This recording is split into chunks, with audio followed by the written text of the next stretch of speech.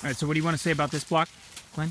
Well, you know, this is uh, this is our old camp single vineyard, doesn't it, Pinot Noir, and, and what's a little different compared to most of the other things I farm. Uh, this is one of the, the we we actually put this vineyard in about nine years ago. Oh, so wow. uh, eight years ago, I guess. Um, so y you know, we selected the clones that we thought were best for the soil, the root stock. We've been real happy with this vineyard. Um, I mean, fruit's always beautiful. It does ripen a little bit early, but it still has these wonderful cool nights. So, you know, we get this richness and we get this texture, but we still have a really nice acidity on these wines. So this is the Pommard clone, and um, you. So with this, are you going to get darker fruit suggestion or more red fruit suggestion? I'd say what I like about it is it's the earthiness. Okay. Pommard to me has a forest floor, mushroomy kind of earthy component that I like.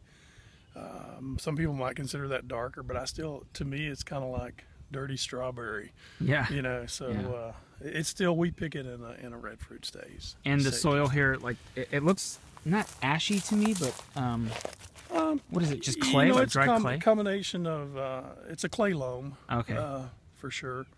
Uh, but you know we're on a nice little slope here, so we get good drainage. Mhm. Uh, we don't hold too much water in the spring, and I like that about it. Um, yeah, this vineyard and, and the other block we were in earlier, this is uh, Pommard and a Dijon clone. We think it's a good